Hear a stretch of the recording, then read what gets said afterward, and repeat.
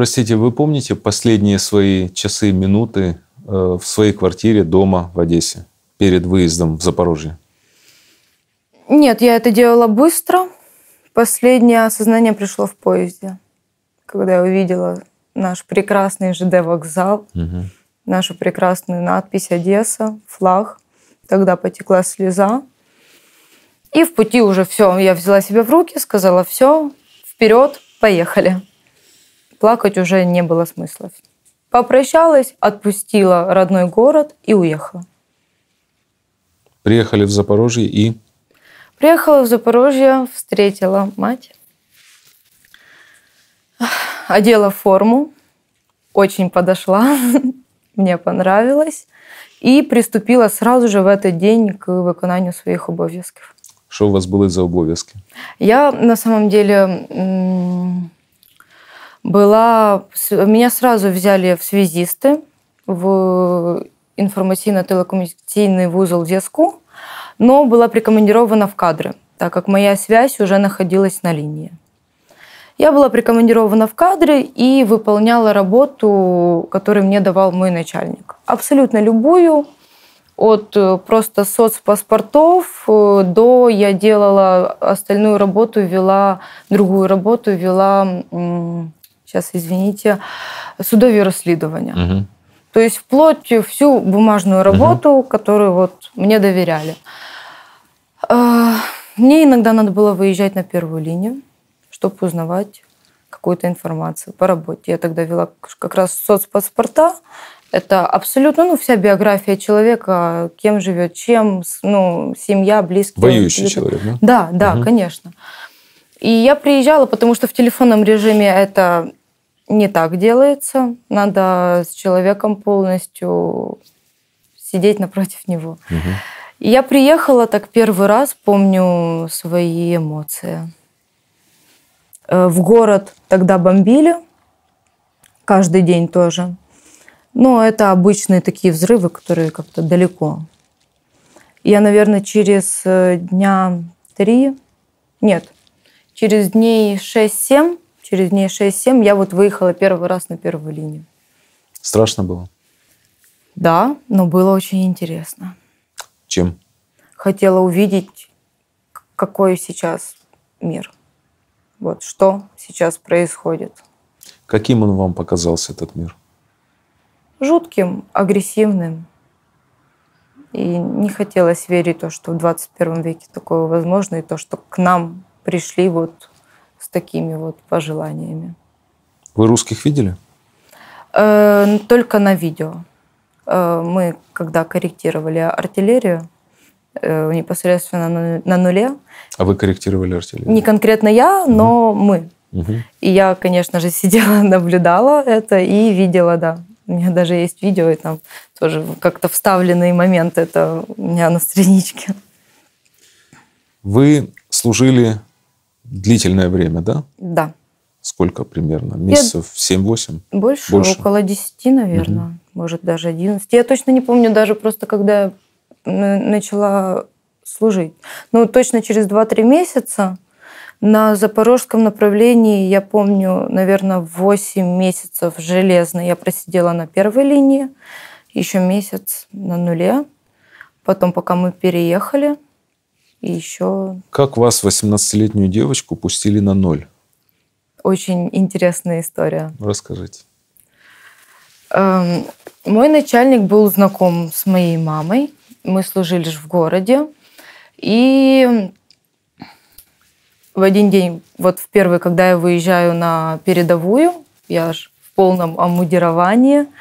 Я с бронежилетом? При... Конечно. Я приезжаю и э, знакомлюсь с ним. Беру всю информацию, работаю и уезжаю. По приезду я подхожу к матери, говорю, я хочу на первую линию. Я сразу как-то это поняла, мне обстановка не напугала. Да, было громко, было шумно от этих взрывов, но как-то сразу такая, знаете, мысль, ну вот мое.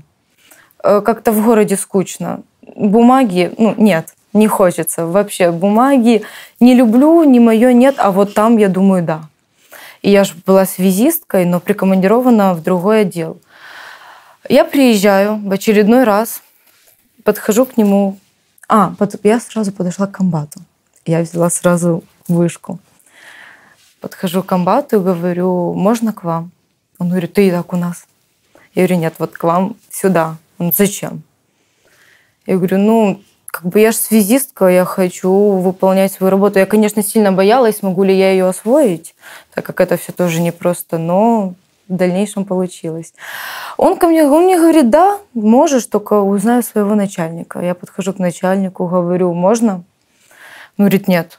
Сразу категорическое нет. Говорит, ты маленькая, ты слишком юная. Говорит, тебе тут не место. Тебе тут не надо. Говорит, вот мы вот тут вот, пацанами, мы справимся. Тебе нельзя сюда. Я говорю, пожалуйста. Говорю, Бук, прошу. Он, нет, я уезжаю. Говорю матери, я хочу. Она не сказала там, беги туда, но она не была против. Она сказала, это твоя жизнь, тебе решать. Отчим сказал то же самое. Брат сказал, нет, пусть сидит в городе. Я все равно, я звоню, говорю, Бук, пожалуйста, возьмите, ну, позывной его. Угу. Говорю, пожалуйста, возьмите. Нет, не возьму. Я уже плакала, когда я заканчивала с ним разговор. Мне было очень обидно, я очень хотела. Уже, наверное, раз третий. Я опять приезжаю, Подхожу к нему, говорю, пожалуйста, я вас очень прошу. Говорю, ну, он говорит, вот как тебя возьмут замуж, если с тобой вот что-то вот случится? Говорит, я, вот как я буду спать? Я допросилась, и он сказал, сделаешь вот работу, приедешь с флешкой, тогда останешься. Я уезжаю, счастливая, делаю все за, за три дня и приезжаю сразу с вещами. У вас позывной Сима. Почему да. Сима? Ой, я приезжаю, даю ему флешку. Он говорит, сколько времени на сборы? Я говорю, я с вещами. Сразу же поселилась, захожу к ним. Э, ко мне подходит второй мой начальник, говорит, так, тебе надо позывной, у тебя есть минута. Я стою, я сразу растерялась, я говорю, блин, я даже и не знаю, как бы, позывной, я, я не знаю даже, с чем себя ассоциировать, ну, как бы, он, ну, это нельзя, ни имя, не похоже, что было на имя, то есть вообще отдельное что-то. А, так как у меня пацаны были связисты, они что-то часто делали, паяли, вот называли их э, фиксиками. Вот. И говорит, ну все, значит, будешь Симой у нас. Симка, Сима, и все, все, давайте. И шеврончики тоже мне сделали Сима. Так осталось. Люди, с которыми вы столкнулись непосредственно на первой линии на нуле, что это за люди? Это мои ребята, с которыми я служила. Вот из чего они сделаны? Что в них такого необычного? Почему они не похожи на всех остальных? Сила, юмор, очень сильный юмор, харизма их и вера только в позитивное. Я не знаю. Я не могу вспомнить ни одного дня, когда мы как-то сидели отчаянные. Ни разу. Мы после каждого обстрела убирали все, смеялись, шутили и понимали, как нам тут прекрасно и как хорошо, что мы все живы. Когда было более всего страшно? Более всего страшно был, наверное, момент, когда попала конкретно в машину. Но я могу вспомнить запорожское направление. Наверное, было страшно, когда попала в наш штаб ракетой. А вы были где в это время? На улице. А штаб рядом? Штаб был сзади меня. Э, я несла как раз ночной наряд. Два часа ночи. Я вышла, у меня кошечка тоже моя со мной служила. И она зашла в штаб и просилась на улицу. И она ну, время от времени выходила, я как раз вышла ее выпустить. И я только прикрывать двери, а полуподвальное помещение, получается, я стою на уровне вот, вот так вот земля уже. Я только закрывать дверь, и резкая вспышка, оранжевый белый свет и громкий очень звук. Точка У разнесла наше здание. Погибли многие? Нет. Не погиб ни один человек. Фантастика. Мы просто так сильно радовались, То, что русские выкусили, и даже такой массивным таким вот ударом никто. Ни один человек с личного состава, и я скажу более, ни один гражданский человек наш э, начальник сразу побежал к людям. Там тоже жили люди недалеко от нас. Сразу же мы всех проверили, в первую очередь их. Все остались живы. Смерти вы видели? Прямо, вот напрямую нет. Э, принимала смерти своих людей. И видела... Что значит принимала? Я что, была радистка. И я знала, сколько людей погибло или какое, сколько двухсотых либо трехсотых наши пацаны уже увозят с нуля. Много ребят погибает? Да, но не столько, сколько бы им хотелось. Не столько. Люди, которые вместе с вами были на первой линии на нуле, а какой возраст их? какой состав, вот откуда они, из каких городов, из каких э, областей? Большинство были Запорож... Запорожья. Так. Вот, я одна там была одесситка, и кто-то э, был Геническ, Херсон, ну, то есть вот то направление. И вот, в принципе, все. В основном Запорожье и Херсонская область и так далее. Э, возраст людей взрослые. Все взрослые. Наверное, Самые молодые пацаны там были это, ну, от 25 лет. Я была самая такая зеленая. А чем они занимались вот в мирной жизни? Вы спрашивали у них? Ой, кто-то айтишник, кто-то там эм, э, э, полицейский, очень тоже много полицейских было, кто-то там с какого-то отдела. Вообще большое разнообразие людей. Просто собрали в одну кучу, посадили и сказали нам бороться. На каком языке больше всего говорили? Наверное, русский. Русский все-таки. Э, да, но э, любой кто-то заговорит на украинском, сразу эта тема поддерживается. Угу. То есть мы сразу же переключались в работе, конечно же, тоже украинский наш родной язык. В работе, чтобы никто не понимал, о чем мы говорим. А вы, я уверен, неоднократно думали над тем, почему эта страна которую так и тянет называть недостраной, я имею в виду Россию, почему они на нас так пошли? Почему с таким озверением они набросились на свободную, независимую, красивую страну? Вот что вы сама себе отвечали на, на это? Было на самом деле тоже мне интересно. Я думала над, этой темой, над, над этой темой. Такая большая масштабная страна, но нету в ней искренности нету в ней добра. Наверное,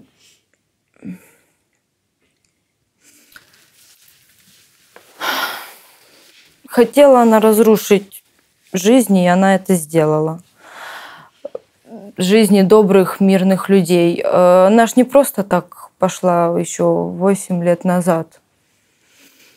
Что-то что, что-то хотела она взять территории. Просто если рассудить на тему территории, но зачем еще? Куда еще? И Путин так говорит, куда еще больше? То есть нам всего хватает. Вот скажите, вот сейчас э, вы э, даете интервью, которое увидят миллионы людей э, во всем мире. Вот что вы, русскоязычная девочка из Одессы, которая воюет за Украину, можете сказать русским, которые смотрят эту программу в России? Что им нужно включить свои мозги и перестать слушать ихнюю бессмысленную пропаганду, которая несет их страна. Хватит. Как можно не видеть того, что происходит?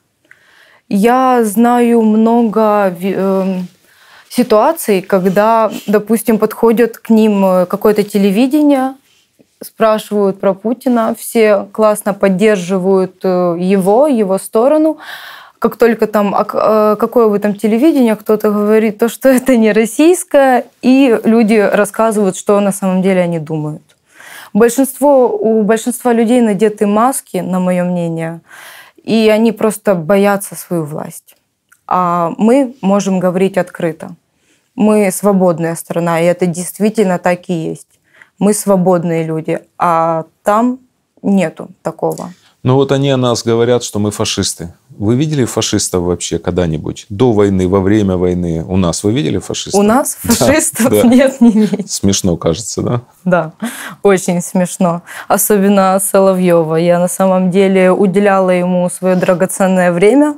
Посматривали? Да, очень, ну вот, э, когда ты отдыхаешь от нарядов, легкий перекус, поднятие настроения, да, очень было интересно и обсудить это со своими коллегами. Ну, это просто, это кадр. Что может сделать, вот, чего добьется страна, когда на телевидении вот говорят такое? Как можно, как, как они преподносят себя большая, великая страна? И, ну, о чем они говорят? Ну, разве правильные люди так делают? Добрые, искренние люди так делают? Нет. У вас есть возможность передать Соловьеву привет. Я бы очень бы хотела сказать теми словами, что я думаю, но это будет некрасиво с моей женской нежной стороны. Я даже не хочу обращаться к этому человеку. Это выше моего внимания. Сегодня э, вот многие люди в мире во всем думают о России, рассуждают о России. Вот все понятно с Путиным, все понятно с его приспешниками, но многие были не готовы к тому, что такая огромная поддержка будет войне против Украины среди обычного населения, что люди, теряющие своих родных, будут иступленно кричать «Слава Путину!», «Добьем фашистскую гадину!» – это про нас – а что это, на ваш взгляд, произошло? Это сбой какой-то генетический, сбой программы. Э, почему они такие? Что с ними случилось? Я не знаю, чем живут эти люди, но если действительно посмотреть их э, телевизор, можно вот понять. Э, Инара Леонидовна э, рассказывала тоже, она как-то была в России, она послушала, что там говорят, и она сказала, в жизни больше вот не включит что-то подобное. Настолько промывка мозгов, настолько вот я, э, люди живут каким-то какими-то старыми стереотипами СССР, и они верят то, что Путин это все, а у самих них, а сами живут в какой-то поганой хрущевке, которая угу. протекает, и нету денег, ни гроша, ни на что. Как, ну, и эти люди говорят «Слава Путину». Ну, пожалуйста, слава Путину. И живите дальше вот так.